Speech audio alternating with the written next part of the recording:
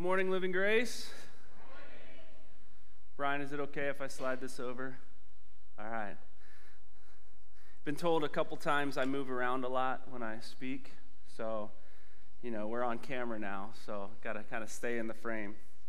Hey, it is good to be here this morning. It's good to get into the Word together, to dive into Scripture and to unpack it a little bit. I love the Bible.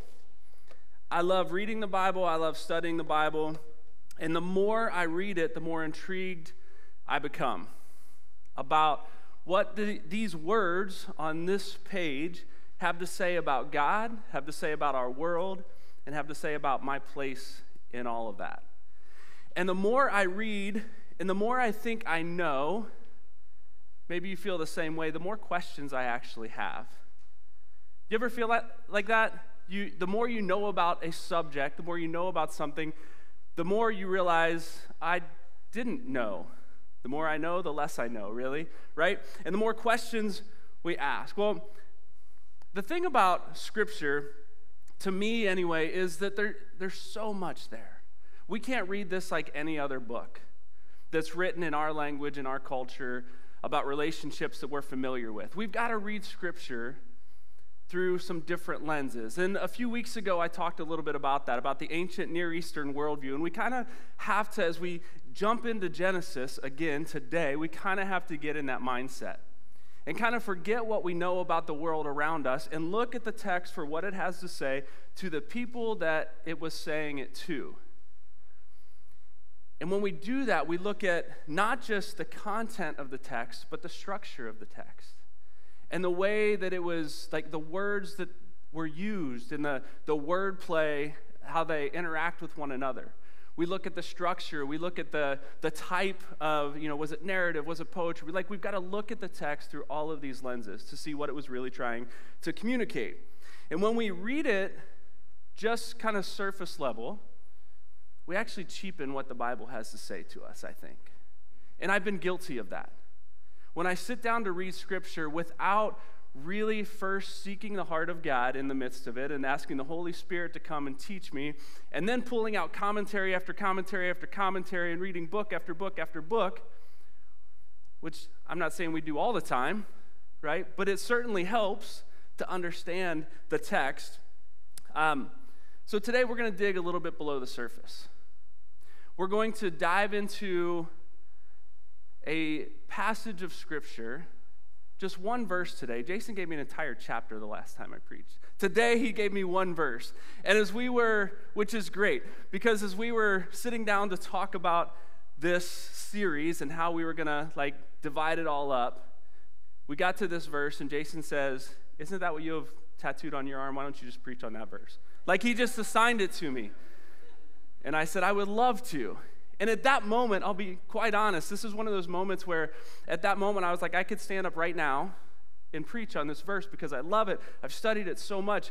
But in the last couple of months of digging in and studying more, there's so much more to it. And it's fascinating. And I'm, again, have more questions than I did two months ago on this passage that I've studied for years and years and years. It's one of those, those passages that just becomes more and more profound as we unpack it. And so we're going to do that this morning. Are you with me?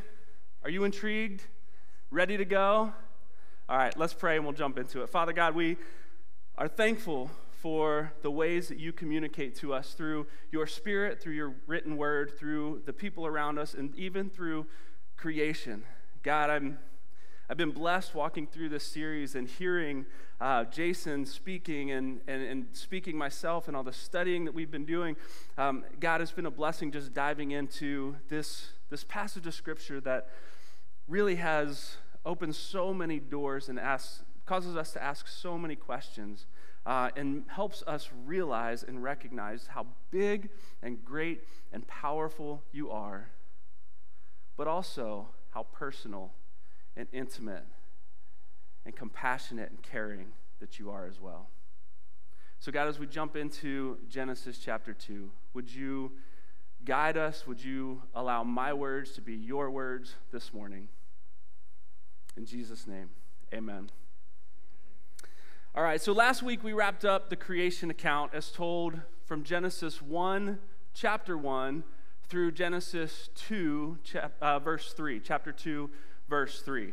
And now understand that there weren't chapters and verses when the text was originally written, so it was kind of broken down funky. But up to Genesis 2, verse 3, it's kind of all part of the same chunk of Scripture, right?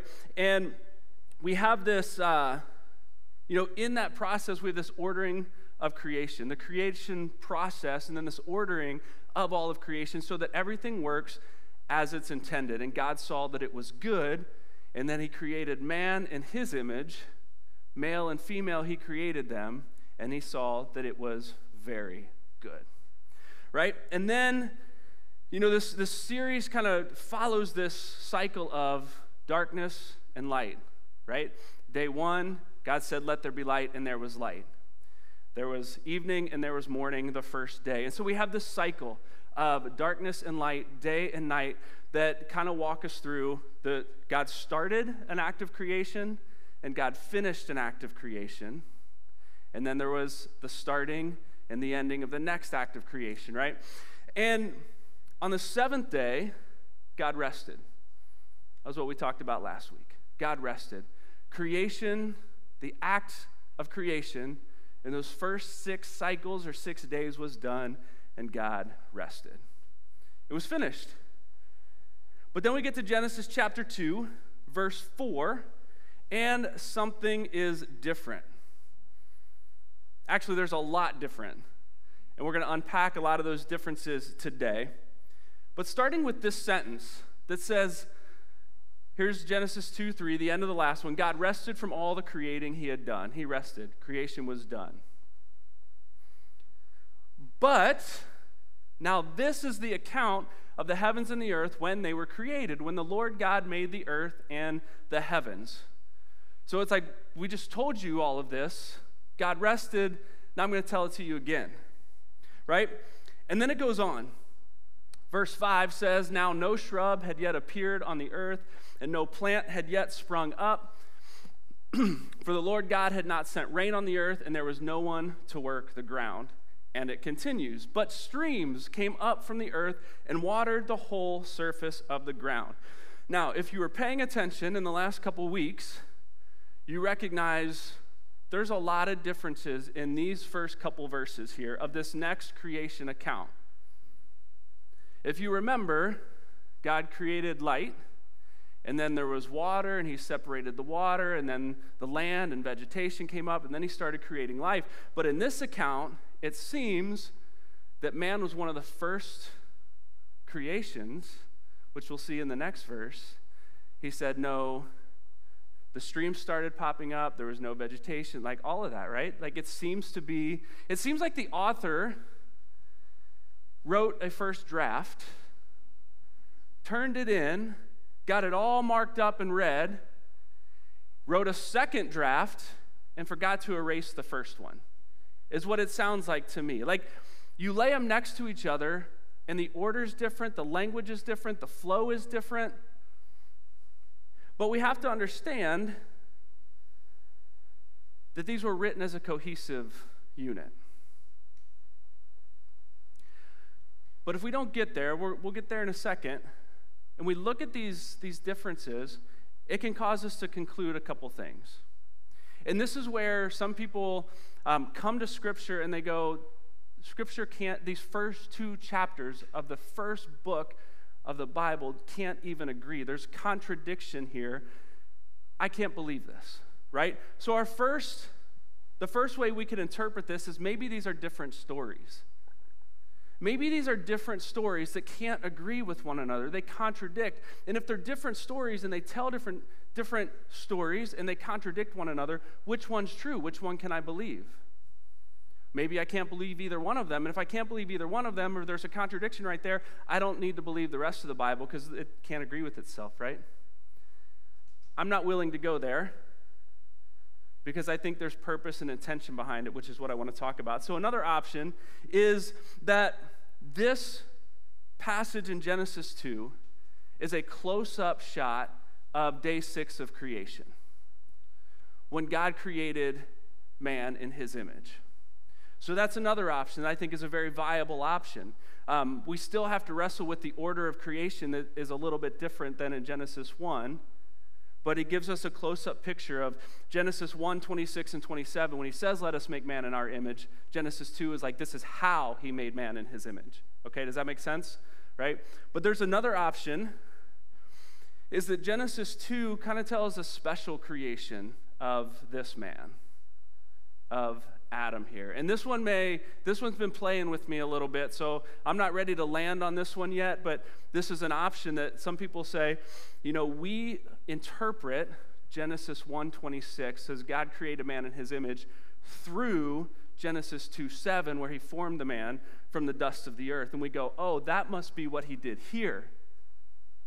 But the problem is, there's no specific connection other than it's a few verses later. So some would argue that God created mankind and then he created a special man in this one. So again, that plays maybe a little theologically with us, and I'm again not willing to land there, but just know that these are theologies, these are ideas that are out there. Now, we don't have time to dig into these right now, unfortunately. I would love to. The good news is that next week, um, we've been asking if you have questions on any of the creation content that we've been talking about in Genesis 1 and 2. We'd love to answer some questions, or at least attempt, respond to some questions.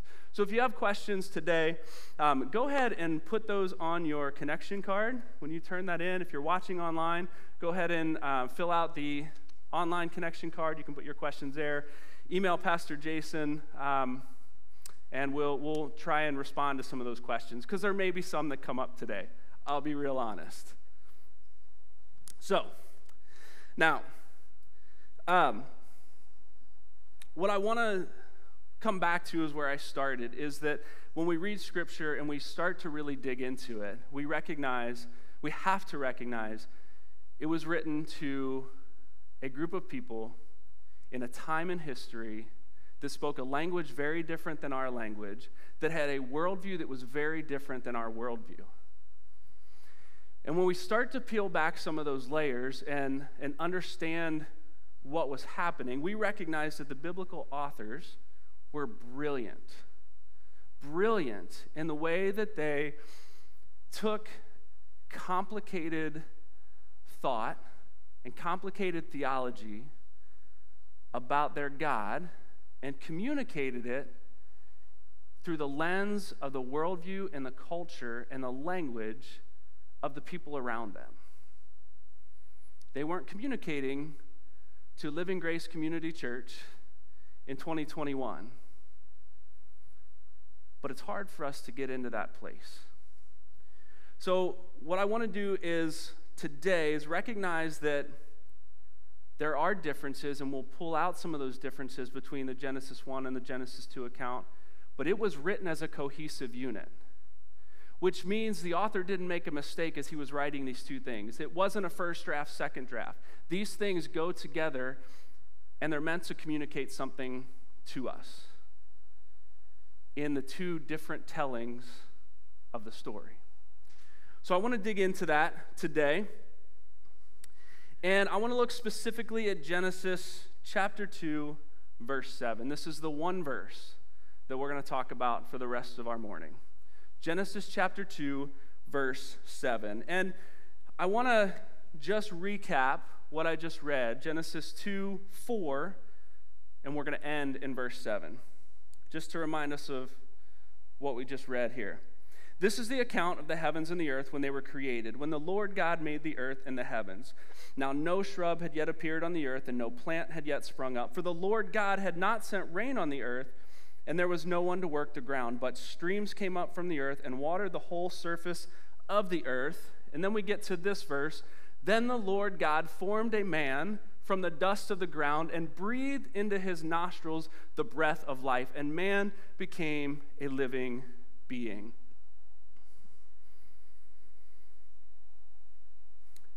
in this one verse alone, just this one verse, we have all sorts of new things that were not present in Genesis chapter 1 in that creation account. We have new language not Hebrew, like it's all written in Hebrew, but new concepts that he's introducing through the language, which we'll talk about. There's new vocabulary in here that wasn't present in Genesis chapter 1, and there's new imagery here that wasn't present in Genesis chapter 1. And so, what I want to do um, for a few minutes is kind of dig into these differences here to see maybe what the picture of God and the picture of humanity that we're getting that may be slightly different or added onto our expands our understanding of humanity in Genesis 1. So let's look at the language. Now, again, this is not, it's all written in Hebrew. This isn't like a different, like spoken language, but the, the concepts presented in the language. In chapter one is pretty general. It's pretty general language. On day one, God created light. On day two, He created, or He separated the waters. On day three, He created land and vegetation, but He doesn't tell us specifically. He created elm trees and oak trees and tulips and roses, right? It's just general. He created vegetation. And then we get to days four, the sun, moon, and stars. Days five, the animals in the water, the animals in the air. And then day six is land animals, everything that moves on land and humanity. Really broad, general language. In chapter two, it gets really, really specific. It gets really, really specific, especially when it gets to the creation of humanity. In chapter one, it's let us make man in our image. So God created man in his image, right? and your imagination is left to play with that and go, How did he do it? Genesis 2 gets really specific and says, This is how God formed a man. Okay? In chapter 1, it's plural, plural language in all sorts of ways. So, the creation of man, we get, Let us make man in our image, which Jason talked about a few weeks ago. Like, there's different interpretations of what that even means. The word God that we'll talk about in a second, Elohim, is a plural Hebrew word, which plays with us a little bit when we begin to understand that. In chapter 2, it's very singular.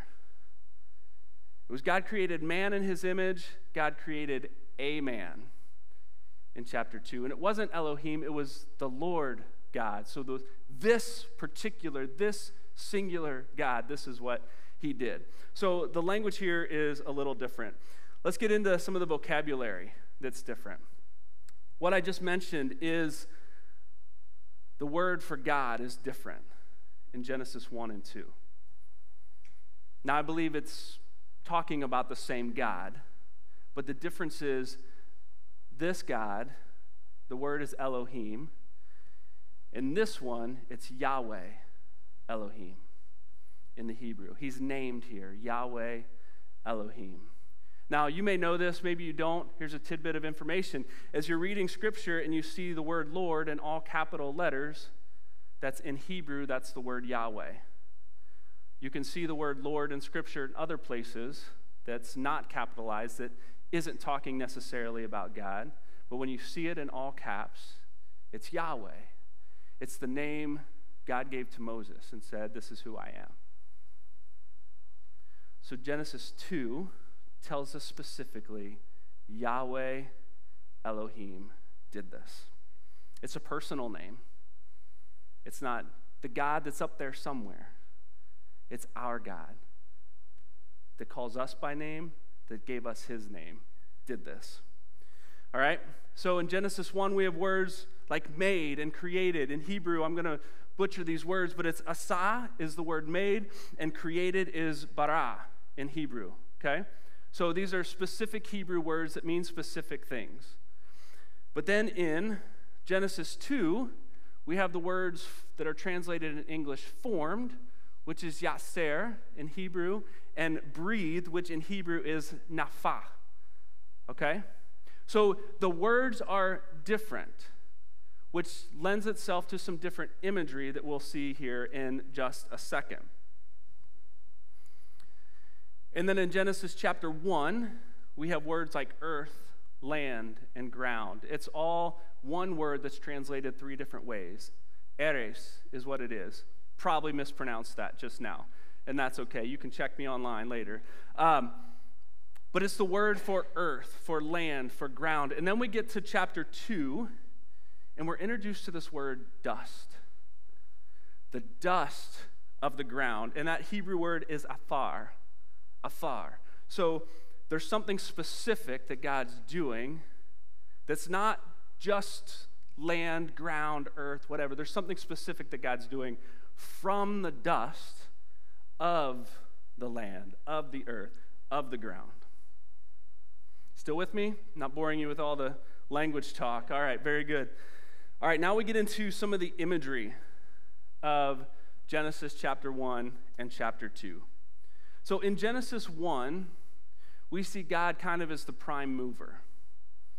Maybe you know that term if you took a philosophy class or anything, that God's the prime mover. He's the one that initiates everything.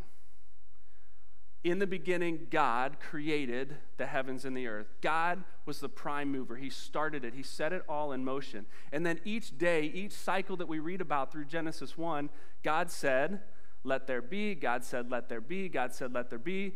And it was so, and it was so, and it was so, right? So God was the prime mover. He's the one that initiated every act in creation that we read about in Genesis 1, which in Genesis 2 is still very true. But we see a picture of God as an artist here. In Genesis 2, we see a picture of God as a sculptor,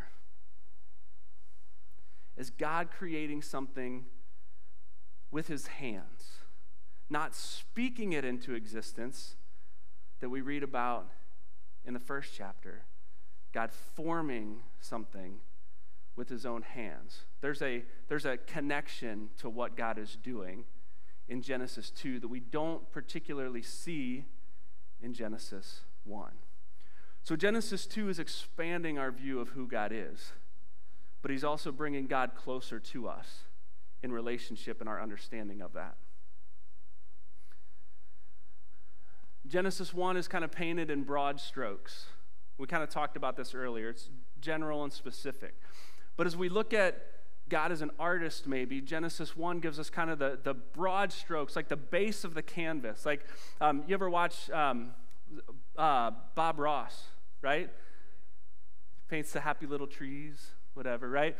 So this is him painting like the ground, broad strokes, and then the blue, and he's fading it all in, right? This is the backdrop of what he's doing. And then we get to Genesis 2, and then you get the little trees that he's painting and the birds in the sky. Like you get the really fine details that really make the story pop, that really make things come alive. Because we have this picture of God as an artist in chapter 2. In chapter 1, chapter 1 is very pragmatic, meaning it's like really matter of fact, really practical. God did this, God did this, God did this, God did this. Very practical, step by step, really logical, moves in order. But in chapter 2, as I've already mentioned, we see a God that's really personal a God that's really personal, that's not necessarily concerned about, he's like, I already did all that. This is something different. This is something special. This is something personal that I'm going to step into and I'm going to get intimately, personally involved with. Not that he didn't in Genesis 1. We just don't read this into Genesis 1 because God spoke it all to being. Now, ultimately, here, we get a picture of a God who is very personal. A God who is shaping dust or clay. There's some debate even there, just tell you that. If we translate it as dust, you can't form dust, right? And other translators would say, no, that just means clay from the ground. There's water springing up and making the ground wet and moldable and workable. So, there's even debate on this here. Um, but a God who reaches down with his bare hands and he pulls out some dust, some clay from the earth, and he starts shaping it and he starts forming it. You know, as kids, we played with Play Doh, right? And I, if I was doing this with a group of students you would all have Play Doh in your hands right now, and you would all be molding and shaping Play Doh. But this is the image of God that we have. That He reaches down and He grabs a lump of it and He just starts molding it. Now, if you played with Play Doh, it kind of gets all over your hands. Like it leaves kind of a slimy feeling, right? Um, imagine if you're playing with clay, with dirt. Like your hands are dirty. Like there is there is an intimate connection. I can't just say, "All right, be a snake." I have to actually this is what I'm really good at, is just making it into a long snake, right? That's what we all did. God's getting his hands dirty here to create humanity in his image to be his representatives to the rest of creation. God said, I got everything right, but this one I'm going to get really, really right. I'm going to do it myself, right? If you want things done, right, you got to do it yourself, right? You heard that. Um, maybe not always true. In this case, I think it is. God says, I'm going to do this myself with my own two hands. And then we have this picture not only is God forming a man or forming humanity out of the dust of the earth, we have a picture of God that he gets down on his knees, okay? And he's forming us. And it says he breathed into his nostrils the breath of life. It's a really intimate picture. Have you ever given CPR to somebody? It's, it can be a bit awkward, right? In that moment, that you're giving someone CPR, you forget about the awkwardness. It's more awkward when you're learning to do CPR and you've got the dummy laying on the table or maybe a live person that they used to like that's more awkward. But when it comes to crisis moment, you forget about the awkwardness, you go to action. But this wasn't crisis moment for God. This wasn't crisis moment. This was this was God forming for the first time. We read later in Genesis that everything that was alive had the breath of life in it. So somehow, God gave the horses the breath of life. Did he blow into their nostrils? Probably not. Everything that has life has the breath of life in it, is what Genesis tells us. But in this case, God imparted his own breath into humanity. And I think there's something really significant about that as well. When you are giving CPR, why do we do that? Why do we? I'll just ask that question. What is, what is it about CPR? When you're blowing in someone's mouth, what are you doing? Giving them life, right? They've stopped breathing. Maybe their heart stops. So you're pumping on their chest and you're trying to give them life and you're breathing into their mouth and you're trying to give them air, right? So what you're doing in that moment is you are taking life from yourself and breathing it into another person. In Genesis 2, God forms a man, hands on, hands dirty, personally, intimately, but he's still a lump of clay. God breathes his own breath. Nefesh, nefesh is the word here. Breathes his own breath into the man. And when that happens, man becomes a living being. Man becomes a living being. That's the word. I mixed that up. That's the word nefesh is living being. Neshama is his breath in Hebrew. He breathes his breath, and when he breathes his breath, this lump, this inanimate lump of clay, piece of Play Doh, God breathed in and he rose up and became a living being. There's something significant and special about all of this that we learn only in Genesis 2 that is kind of glossed over in Genesis 1. So we could unpack this all day. And I would love to do that. But I'm looking at the clock and I'm going, you guys are probably getting hungry. Not going to do that to you. But again, if you have questions, want to talk more about this passage, anything we've talked about so far through Genesis 1, next week is an opportunity. Write those questions down so we've got an opportunity to kind of dig into them and give you a real answer instead of on the fly next week, which maybe you can do that too. Um, but we'd love to hear it. We'd love to hear it. But what is it for now? What does this mean? What can we take away from this passage today? There's a laundry list of things, but I'm going to give you three. I'm going to give you three that humans are unique among all creation. Humans are unique among all creation. We probably would, we've heard that all our lives if we grew up in church. There's something special about humanity, right? But this is where all of this comes from. Just a couple of verses in Genesis 1 26 and 27, and Genesis 2 7. That God created us differently than everything else. And it was personal and it was intimate in the way that He did it.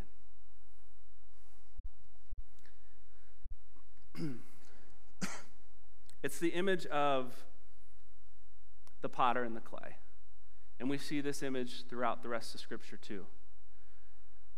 Paul talks about it in the New Testament. Isaiah talks about it. Isaiah 64 8 says, Yet you, Lord, are our Father. We are the clay. You are the potter. We are the work. We are all the work of your hand. It's a common theme that plays out all through the rest of the Scripture that starts right here. God took a personal interest in humanity among all creation. This next one might play with us, with us a little bit too. Still playing with my mind a little bit. So humans are created as mortal beings. Hmm. That's a challenge, right? Because if our theology tells us death didn't enter the world until Adam and Eve sinned, man was created immortal.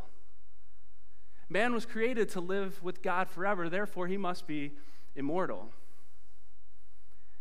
I think as we dig into this passage, we see that God created humanity from already created things. It wasn't an immortal creation, something new.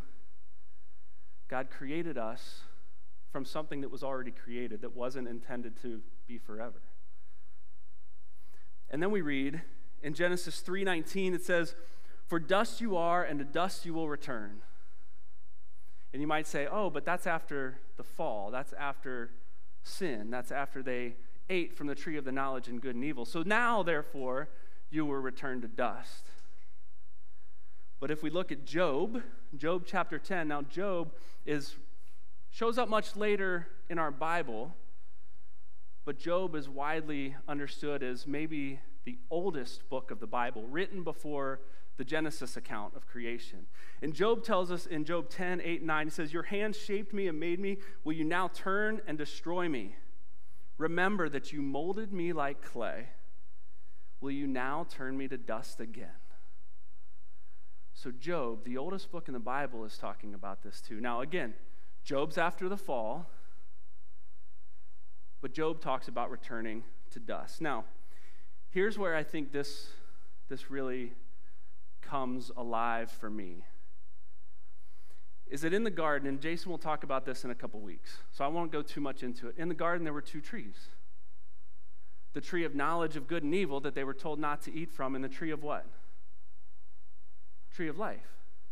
If man was created immortal, what was the purpose of the tree of life? You're free to eat of any tree, including the tree of life, to sustain your life, to sustain you for all of eternity.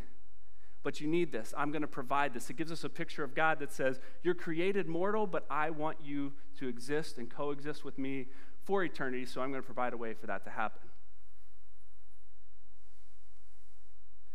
What happened after the fall is that they were excommunicated from the garden and lost access to the tree of life, cutting off their eternal connection with God that then Jesus provides later for us. Still playing with me. I'm still wrestling through the implications of if this is what it is, I think this is what this is teaching. that there's a dependence, a built in dependence on the way God made us, on Him to provide and sustain us for eternity. This one's a little easier, maybe, than that one. Humans are intimately connected with God. Intimately connected with God. Not because he, he formed us and made us and shaped us, but intimately connected because the breath in our lungs that we just sung about is the very breath that God breathed into us. It was His life being breathed into us that made us come alive.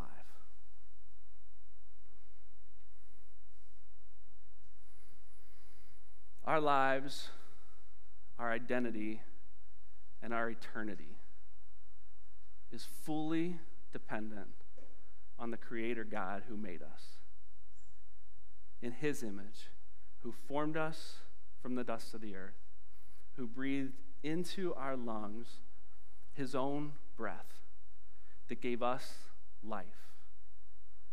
Now, as we look back, we understand that Adam and later Eve, as she's created uh, from Adam later in this account, that these are kind of archetypes of us.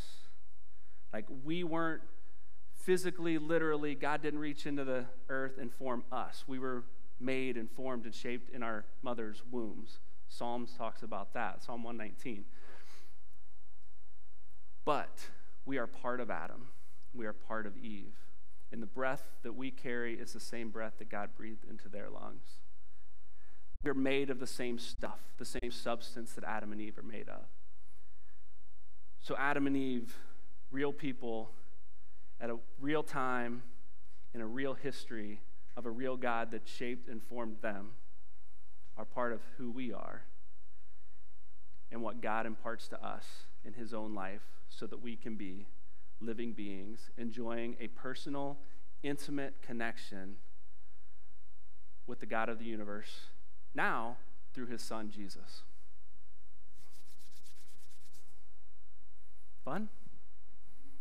Questions, maybe? All right. In a few weeks, we're going to talk about what happened next.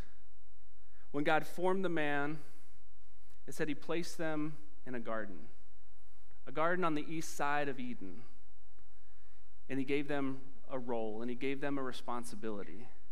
And I think that all stems from what we talked about today. So we're, we're going to get into that a little bit later. But now I want us, we're just going to engage in a, in a time of prayer. And what we did leading into the message before the song is we focused on the greatness of God.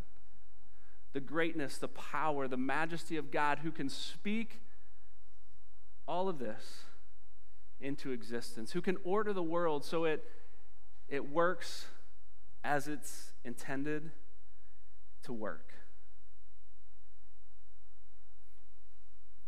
But we now have a picture of a God who's personal, who's intimate, and who wants to be close with us. So, what I want to do is just take a minute and connect with the heart of God.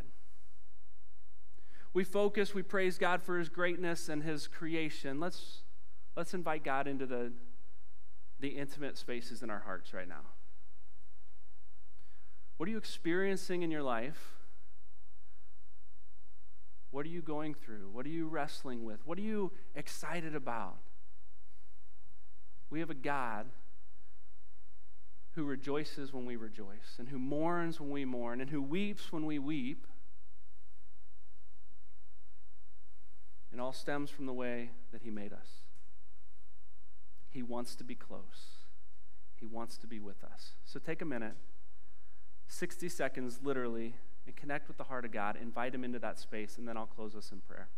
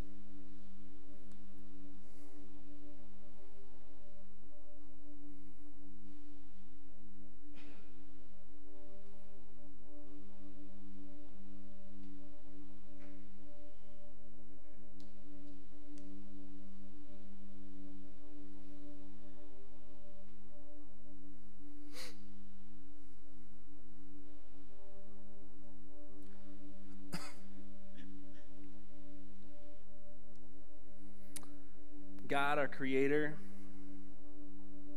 Elohim of Elohim, Yahweh Elohim, God with power, God with might, but God with compassion, God with care, God with concern, God who is personal, God who is intimate, God who wants to be in relationship with each one of us. We stand in awe of you right now, God, that as big as you are, as majestic and as powerful and as great as you are, you come close. You come close. We see this, God, in creation as you breathe your life into humanity. That's where the relationship began, God, and that's where the relationship will end as we one day will walk side by side with you. As creation is remade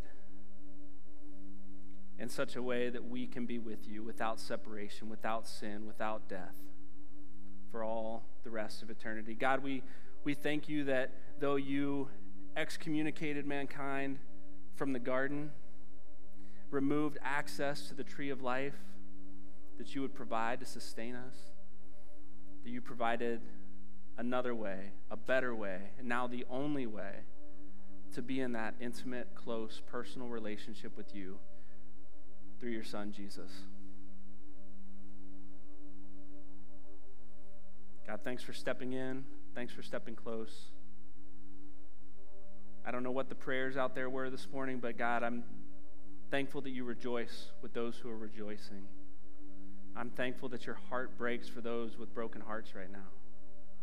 I'm thankful, God, that you step into hard places that we're dealing with in our lives, with our families, with our jobs. Continue to lead us, continue to walk close with us, God. And I pray that we would have the courage and the wisdom to continue to invite you into that. In Jesus' name, amen.